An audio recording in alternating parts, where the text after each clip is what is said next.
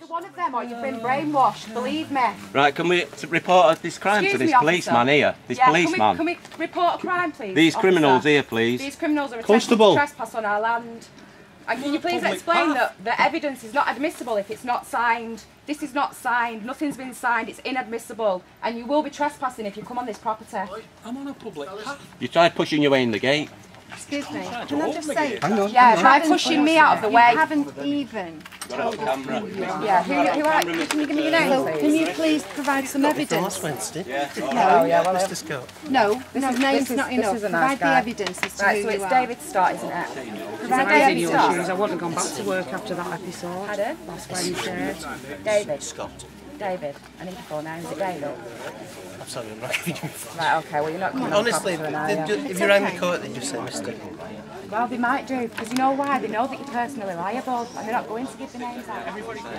Just leave two people talking, yeah?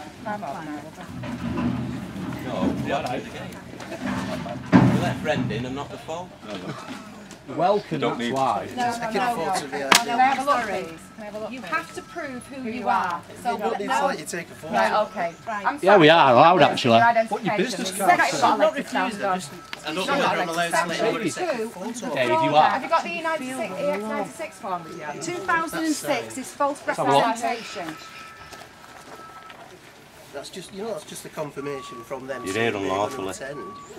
No, it's from the bank. Oh, Yes, not- saying The that they're going to court. attend. Shouldn't No. even be willing to go It's into transferring a conversation with debt. him You because need to read your review facts, you know. Exactly. Honestly, mate, Dave, End of story. they're setting you up, mate. You need to read your Setting you stuff. You need to learn It's there for everyone to learn.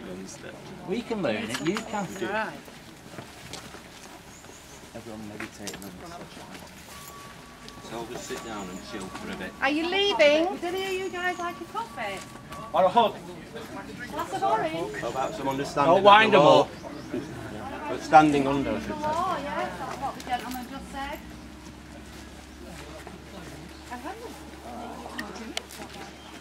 the gentleman just said. Let me get a camera and get out. Get that.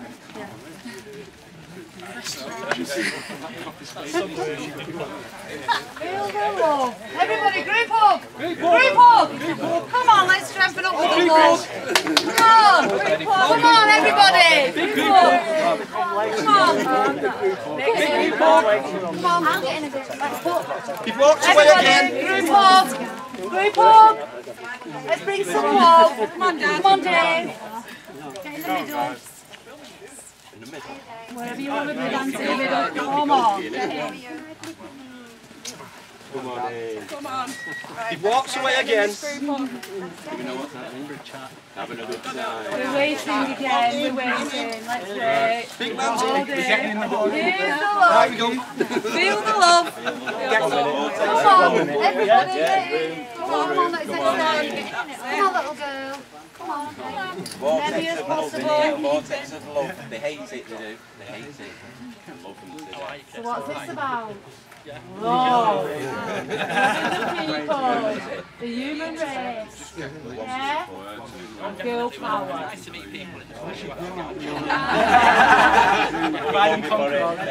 Chelsea gets you nowhere. And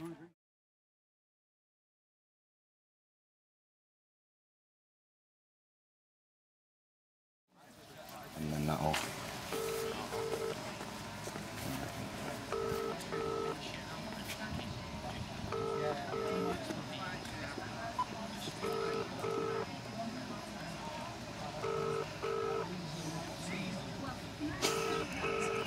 Probably recognises the number. What do you mean? Is it? Well, I'll have your number saved now. I'm not coming for two? as well to. What do you speak to the chauffeur? Call ended. I didn't touch anything. This is Dave and Mel trying to ring the bailiff. Take three.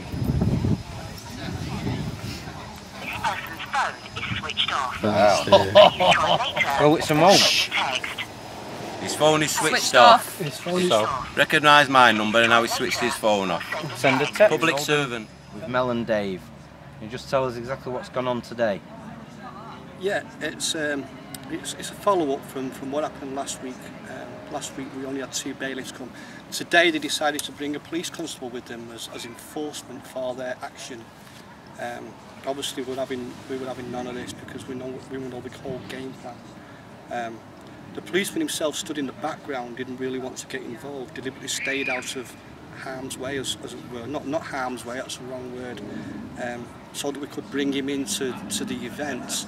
Um, the bailiffs presented themselves and wanted to boisterously uh, insist that they had a court order uh, and they had the legal right to take possession of this property.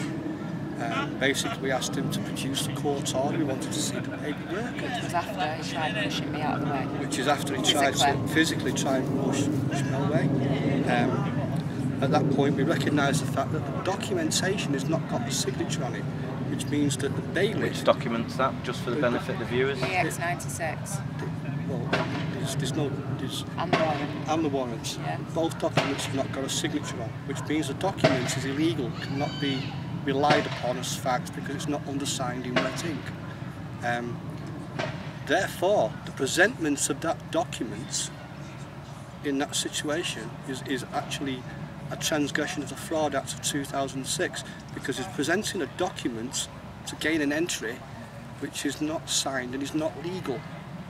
Um, at which point I attempted to summon a policeman and loudly proclaimed there was a, a, a crime in progress um, with the perpetrators at the scene and uh, at that point when the policeman was he couldn't deny the fact that I'd tried to gain his attention he called the two gentlemen away and he walked off Well, first of all, I actually said to the police officer, um, if a witness statement was given to the court and it wasn't signed with a wet ink signature, would it be admissible? Obviously, we know the answer is no. Um, and then on that note, he then asked the bailiffs to um, walk off privately so they could have a chat, which they did, and um, they've not come back. So, come back should we be reporting the constable for not report dealing with a crime that was reported to him? Well, we should, yes, but it, it's it, and we can, and we can file that documentation and make that claim, and we can actually enter that as a criminal action because he's failed in his duty of care as a police constable. Mm-hmm. He's refused to acknowledge the criminal activity at hand, mm-hmm. and he's walked away. And to, on his own. to do that, no, whether he's on his own or not, to do that while he's on duty, while he's on pay, he's taking pay under false pretences, and that is in itself another act of fraud. Yeah, but themselves, they go in twos so they can back each other up. Yeah, So he, he didn't have that leg to stand on, he didn't have his hat on. I, re- I really uh, don't care about whether he's got his hat on He can't not. arrest He- you he- or he do was there- anything if he's not got his hat on. He was there in the position of police constable. Right. He should have been Yeah. there to assist us. But any police officer to not do anything unless they're in full uniform, which is the hat. That's the point I'm making with the hat. This is a valid point. Yeah. So then, um, oh, what, three hours later maybe? Is it three hours later?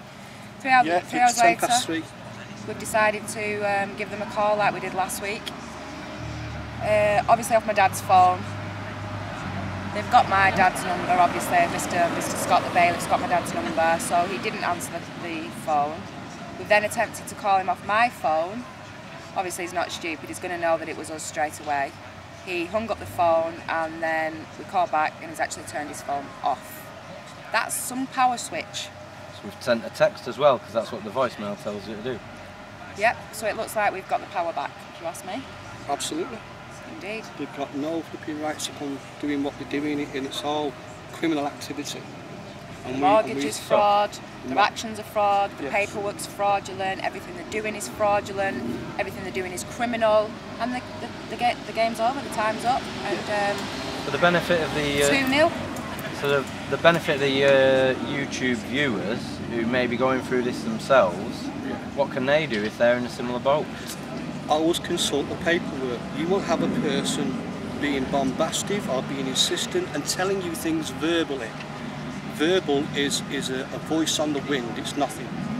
Um, unless you're under oath, unless you're under, under, you've taken an oath, there and then on the spot, that everything you say um, will be the truth. Anything other than that is, is just whispers on the wind. What you want to see is the paperwork. Look at the paperwork, look for the wet ink signature, it will not be there.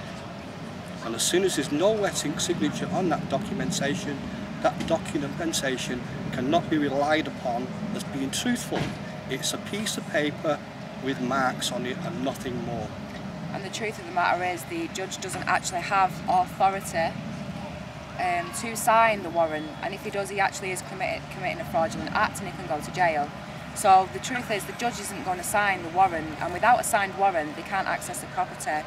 You need to learn your rights and understand the laws and rules. You can also contact us all on Facebook because we are going to be here helping as many people as we can and this group is going to spread all over the country and in fact worldwide. Um, we'll post links under the YouTube video for you to be able to contact us. We'll be um, putting all of the incidents together and lots more information and interviews and things ready for the documentary. Um, it's possibly going to be around three. The Masons like to knock three times. Um, bring it on. Bring it on. Peace and love, that do, yeah? Well, what do you think their next step will be? Um, they're either going to completely cease and desist, which is what I've asked them to do. Oh, incidentally, um, this morning, again, as they did last week, last Wednesday, last Wednesday we had um, two phone calls from the bank and two phone calls from the solicitors on the morning of the so-called eviction and we completely ignored the phone. Um, it's happened again today. The banks, the bank and the solicitors have called us again today. So this morning I thought, well, I'll just see what they've got to say. Now we have been informed by um, several freemen because basically it is fraudulent. The mortgage is fraudulent. All mortgages are fraudulent. It's that simple. Um, so we've basically been informed by several freemen to call them up and offer them a pound a month and they'll accept it because they don't want this getting out. They don't want the public to know what they're doing. We're not willing to do that. We don't want to pay a pound a, a pound a month. Well, my, sorry, my dad doesn't want to do that. He doesn't want to pay a pound a month for the mortgage because that's consenting to contract. We're not consenting to a fraudulent contract. We are no longer willing to participate in a criminal, corrupt system. We are standing up and we are saying no. We're not paying you anything, your contract's void, prove otherwise. And until you have, nobody's going anywhere and nobody's allowed on my dad's property. So this morning when the solicitor called me, um, it, we ignored it. I decided to call him back. It wasn't a solicitor, it was just a assistant. So I called him back um, and he said, what do you want? I said, well actually no, you rang us, what do you want? He said, oh, well we're just ringing to see if there's any way around this eviction today. I said, oh yes there is, I can assure you the eviction will not be going ahead today. And may I remind you once again that I've submitted quite a uh, um, substantial legal case against Dryden Fairfax solicitors and the Bank of Scotland and I have alleged a very serious case of fraud. Now, can you please inform your senior partner of the solicitors to rebut the UCC filings and to rebut my allegation of fraud um, and until you do so, anybody that comes on my dad's property, anybody that rings or anybody that writes letters will be being invoiced personally because you've no longer got a corporate safety net of protection. And I will be enforcing these debts with a debt collector to come and knock on your personal properties to enforce the debt. And in the event that you do not pay them, I will be attaching a commercial lien on your property. Thank you. Goodbye. That's what's Fantastic, That's the way you're selling. Absolutely. very, very uh, strong point as well. When this new financial system comes, and it's coming probably within the next week or two, be very, very, very cautious and very, very careful before you sign anything new in relation to any new bank accounts. Um, strongly advise you get in touch and start circulating within the right groups and find out what's really going on before you put your signature to anything because it could it could um, you could lose many of your rights, many of your entitlements. It's all orchestrated, it's all planned, everything they do is orchestrated and planned, it always has been. Um, it really is time to wake up from the bubble people and open your eyes, turn off your TVs, have a look into what's really going on in the world, throw all your bullshit newspapers in the bin, get on the internet and start researching some truths because you really are living in a bubble. And if you don't wake up and we don't unite, God knows what's going to happen. Luckily there's many of us that are awake and we are ready to stand up to this system and say we're not going to take it anymore. Please come and join, join us, jump on board.